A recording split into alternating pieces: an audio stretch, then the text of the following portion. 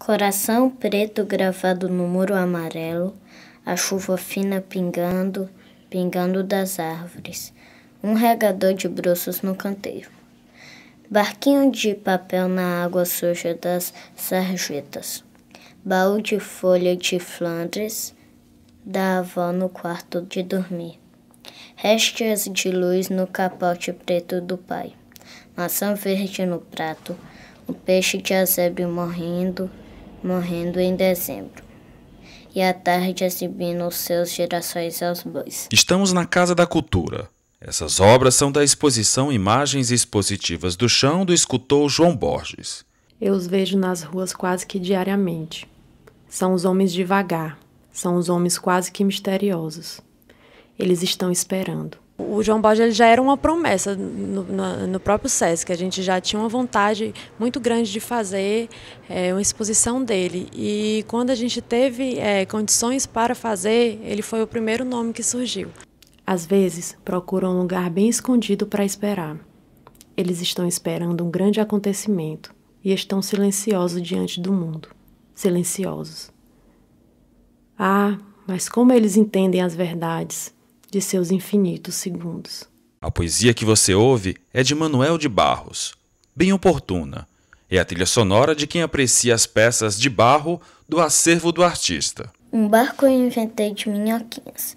Ele ia torto no rego. Pendurei por fora meu vaso de luar. Veio aquele pardal, bebeu a água de cima. Saiu ferido de muitas flautas. Essas poesias, na verdade, é um link que a gente faz com o Manuel de Barros, porque a gente, nas obras do João Borges, a gente vê muita poesia, né? Então, e da mesma forma que ele consegue tirar da terra a matéria e transformar é, as, as esculturas, da vida às esculturas, de forma poética, a gente logo pensou em fazer link com a poesia, tanto impressa nas paredes da exposição, como também em momentos de audição para a gente ter um, uma imersão na temática, para a gente poder sentir um pouco, é, né, tipo, abrir os poros para o espaço né, em si da exposição. O homem possuía um ocaso e duas mãos. Lembrava uma rosa seca num porto. Lembrava também pássaro andunco, na ponta de uma península. Além de curadora, Marina, juntamente com o filho, recita os versos de Manuel de Barros. Uma tarde pousou como um pardal no banco da praça. Representação do povo nordestino no jeito de ser, nos gestuais, na tradição, na simplicidade, no dia a dia, no lazer, no trabalho. João Borges parece dar vida a essas peças, mostrando técnica, delicadeza de detalhe, ao mesmo tempo rústico e frágil. Em outra dependência da Casa da Cultura, o escultor repassa experiência e técnica a um grupo de interessados em modelar o barro. Trabalhar com barro, é, imprimir o barro que eu, o que faz, é, eu faço o que vejo. E o que vejo me inspira. Eu, eu vejo o cotidiano. O cotidiano é algo inspirador, é algo que tem sempre algo a lhe oferecer, não é? Me aproprio, me aproveito desses momentos que que me trazem inspiração e tento imprimir ao máximo, entendeu? O dia a dia, o olhar das pessoas. E, e é como se eu estivesse conversando com o personagem. Eu acho que é, viver um diálogo é sempre muito bom, muito interessante. Eu vivo um diálogo cotidiano com os meus trabalhos.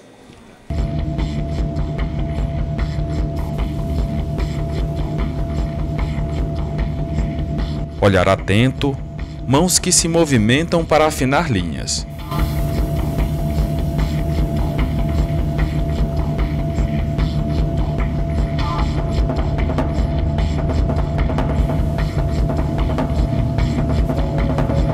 Ouvidos também prestando atenção. Você está dando uma oficina aqui, mas como foi o seu começo?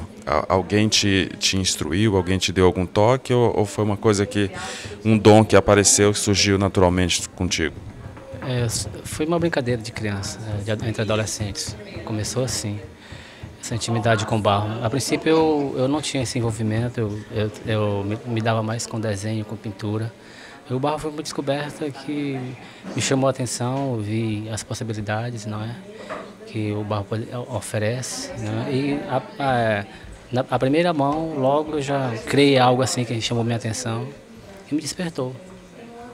Como foi que tu foi apurando a tua técnica com o tempo? Como é que para tu chegar a essa a gente quase perfeição assim, porque parece que tem vida assim as tuas obras. A técnica é, é, é o tempo, não é? Você vai você vai se apropriando das, das possibilidades né, que o barro lhe oferece e, e, com o tempo isso, isso vai lhe facilitando a forma de lidar com ele, de buscar a forma, não é? de trabalhar na anatomia. E eu acho que esse é um, é um processo que vai é, crescendo aos poucos. Foi assim que aconteceu. A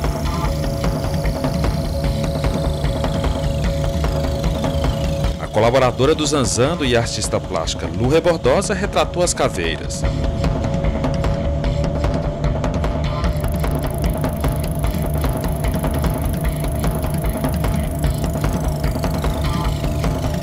Qual é a tua intenção em fazer essa oficina? Ai, a minha intenção ser artista que nem o João. O meu primeiro contato com, com argila foi na Universidade Federal, né? Mas desde a primeira vez que eu vi as obras do João, eu fiquei encantada e a intenção foi pegar um pouquinho da técnica dele. Certo. E como foi receber a, a técnica e aplicar mesmo na prática? Ah, eu estou achando uma, uma experiência excelente, né? Porque a gente está aprendendo muito aqui e está sendo muito boa, muito válida. Eu mexo mais com pintura, né? Aí, quando eu soube que o Zé Borges ia dar essa, esse curso para a gente, né? Então eu pensei duas vezes, não, é aqui mesmo. O poder criativo é sempre bem-vindo, né? Não importa qual modalidade artística, né? E sabendo que é o João Borges, então, mexeu né, com toda essa estrutura mental. Eu faço arquitetura e urbanismo e eu acho que vai me ajudar um pouco numa visão melhor sobre a arte. Eu acho que vai abrir meus caminhos em algum, na, nessa parte, nessa área. É teu primeiro contato com argila? Com argila, sim. E eu vi o trabalho dele semana passada e eu gostei muito e fiquei sabendo que ele estava oferecendo um curso pelo SESC e então eu me matriculei. E foram os rostos as peças mais desenvolvidas. Peças essas que ainda vão passar por mais processos até ficar como as expostas de João Borges. Já a exposição Imagens Expositivas do Chão foi finalizada, mas tem obra fixa do artista na Casa da Cultura.